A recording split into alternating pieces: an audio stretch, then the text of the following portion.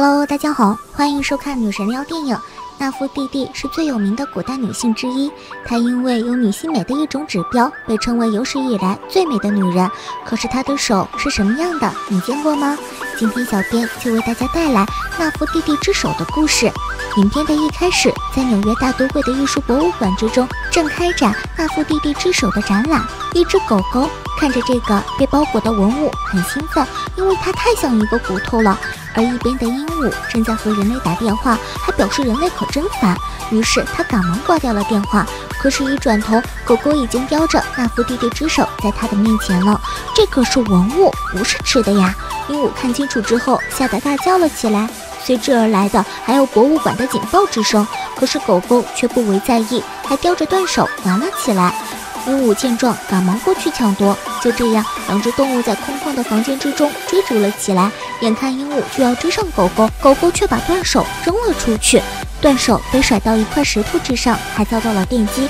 鹦鹉都被吓傻了，还好没有什么问题。但是掉下来的时候，直接戳进了被狗狗撒上尿的电插板之中，再一次受到了电击，而且还不止一次。鹦鹉看得一脸懵逼，狗狗却很是得意。之后，断手被烤糊落在了地面上，狗狗兴奋地跑了过去。这烤熟了的就是美味呀！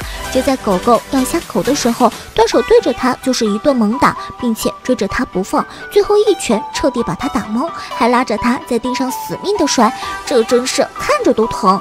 而鹦鹉害怕的躲在了镜子后面，断手发现之后就快速的走了过来，却看到了镜子中的自己的样子。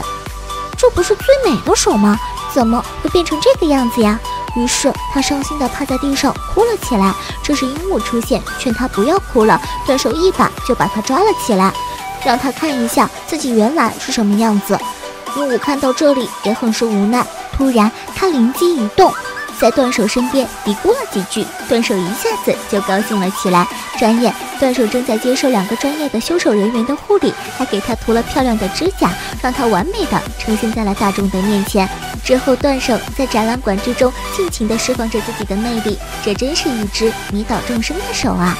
看完这只手的表现，你有没有也想好好的要保护自己的双手呢？感谢收看本期视频，喜欢不要忘记关注转发哦！